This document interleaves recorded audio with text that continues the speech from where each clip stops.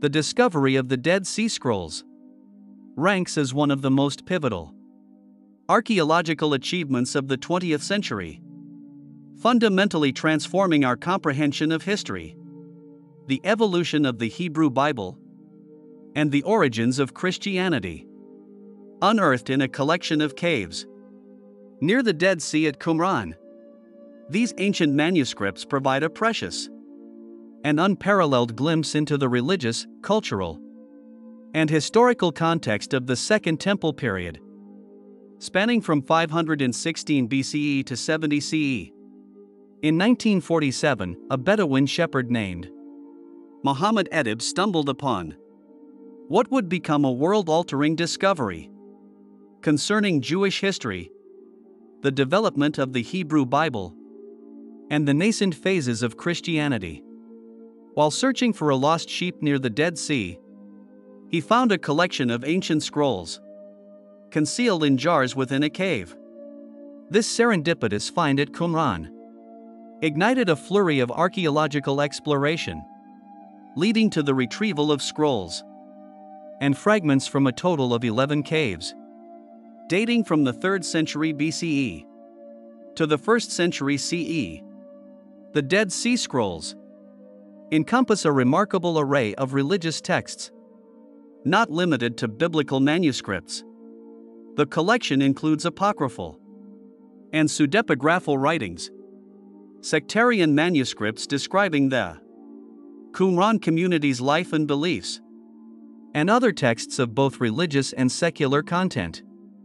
Notably, the collection contains complete or partial texts of every book of the Hebrew Bible, with the exception of the Book of Esther, marking them as significantly older than any other Hebrew manuscripts by about a thousand years. These texts provide invaluable insights into the textual history and evolution of the Hebrew Bible. The importance of these ancient manuscripts extends well beyond their antiquity and rarity. They shed light on the process of canonization and the transmission of biblical texts, highlighting variations in evolution over time. Additionally, the non biblical texts among the scrolls offer a rare look into the beliefs, practices, and daily life of what many scholars believe to be the Essenes a Jewish sect that lived in a monastic community at Qumran. Descriptions of this community, characterized by stringent rules, communal living, and a focus on ritual purity, align with historical descriptions by ancient historians like Josephus and Pliny the Elder, supporting the hypothesis of an Essene link.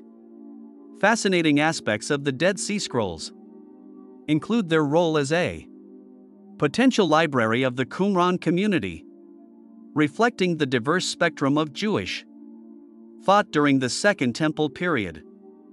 The preservation methods, facilitated by the arid climate of the Dead Sea region, and the practice of storing scrolls in jars, have enabled these texts to endure for over two millennia. Furthermore, technological advancements have facilitated the digitization of the scrolls, making them accessible to a worldwide audience and aiding in their study and preservation. When comparing the Dead Sea Scrolls with other significant ancient religious texts, such as the Nag Hammadi Library, the differences in their contributions to our understanding of ancient religious thought become evident. While the Nag Hammadi texts shed light on early Christian Gnosticism, featuring a variety of Gospels and spiritual writings not present in the canonical Bible. The Dead Sea Scrolls primarily illuminate the Jewish context of the Second Temple period. Together, these findings underscore the rich diversity and textual intricacy of religious thought in the ancient Near East, offering both scholars and the general public a more profound insight into the origins and evolution of these two major world religions. In 1945, near the upper Egyptian town of Nag Hammadi, a remarkable discovery was made. that would significantly alter our comprehension of early Christianity. A local farmer, Muhammad Ali Al Saman, was digging for fertilizer when he came across a sealed earthenware jar. Initially apprehensive, fearing it might contain a jinn, his curiosity eventually led him to discover a collection of leather bound papyrus codices. This collection, now known as the Nag Hammadi Library, contained 13 ancient books, comprising over 50 texts, including Gospels such as those of Thomas and Philip, Acts, letters, and theological treatises, excluded from the canonical New Testament. The uncovering of the Nag Hammadi Library was revolutionary for several reasons. Primarily, the texts provided a comprehensive glimpse into Gnosticism, an early Christian movement that prized direct knowledge of the divine as the route to salvation. Prior to this discovery, our knowledge of Gnosticism was largely derived from its detractors. However, the Nag Hammadi texts offered a first hand view of the diverse spectrum of thought within early Christianity challenging the previously held belief of a homogeneous set of doctrines and practices among its followers. These manuscripts were exceptionally well preserved, likely due to the dry, sealed jar in which they had been stored for centuries. Written in Coptic, the final stage of the Egyptian language. These texts were translations from earlier Greek writings. The translation of these documents into contemporary languages has transformed the study of early Christian history, rendering them accessible to both academics and the general public. The Nag Hammadi texts explore spiritual and philosophical themes, not prominently featured in the canonical Bible, offering a more mystical and metaphysical perspective on Jesus and his teachings. They address the origin of evil the nature of God, and the soul's journey, providing a distinctive viewpoint on early Christian theology. One particularly fascinating aspect of the Nag Hammadi library is its depiction of Mary Magdalene. In texts such as the Gospel of Philip, Mary is portrayed as a close companion of Jesus, sparking debates about her role in early Christian communities and challenging traditional views of women's status in the early church. This portrayal contrasts with her more limited role in the canonical Gospels and has stimulated discussions on gender and leadership within early Christianity. Comparing the Nag Hammadi library with the Dead Sea Scrolls reveals two vastly different snapshots of religious thought in the ancient world. Together, these discoveries have significantly broadened our understanding of ancient religious thought, underscoring the complex and diverse beliefs that existed during their respective periods, and illustrating the evolving religious landscape from Judaism to Christianity. In the mid 19th century, an extraordinary discovery at St. Catherine's Monastery on the Sinai Peninsula left an indelible mark on biblical scholarship and the history of Christianity. Konstantin von Tischendorf, a German biblical scholar, during his visit to the monastery, discovered several leaves of an ancient manuscript in a basket of old parchments destined for destruction. This manuscript, known as the Codex Sinaiticus, dates back to the 4th century AD and is one of the oldest and most complete versions of the Christian Bible. Written in Greek, the Codex Sinaiticus is remarkable for several reasons.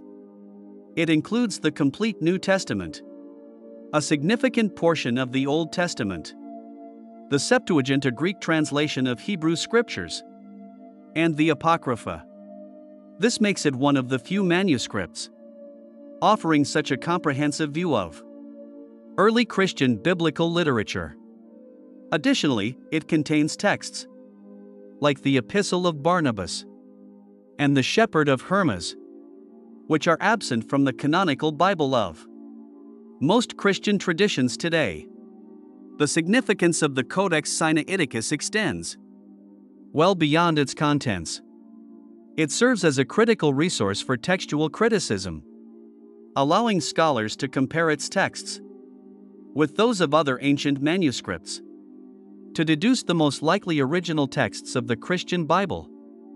This insight into the diversity of beliefs and practices within early Christian communities is invaluable, offering a clearer picture of the early church's efforts to standardize Christian texts. Fascinating facts about the production and preservation of the Codex Sinaiticus include its likely production in one of the major Christian centers, possibly Alexandria, and its format as an early Christian codex, which predates the modern book format.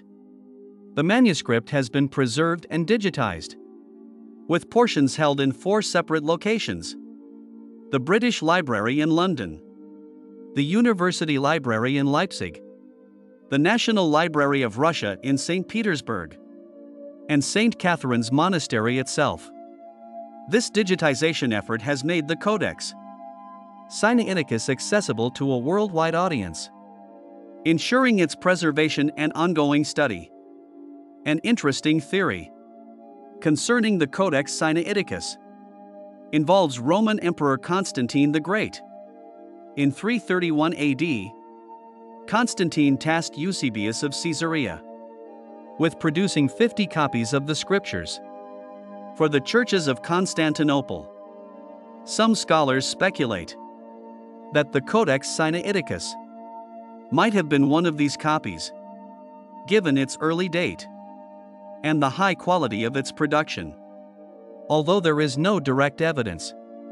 To support this theory, it adds an intriguing dimension to the Codex's history, especially when compared to the Codex Vaticanus. The Codex Vaticanus, another significant ancient biblical manuscript from the 4th century, alongside the Codex Sinaiticus, contributes uniquely to our understanding of the Christian biblical canon while the Codex Vaticanus is slightly older and exhibits some textual differences. But Codex Sinaiticus is more comprehensive, including books not found in the Vaticanus. Together, these manuscripts are pivotal for grasping the development and transmission of the Christian biblical canon, offering essential insights into the text of the Christian Bible during its formative period. If you enjoy our content and want to support us, click on the Super Thanks button below.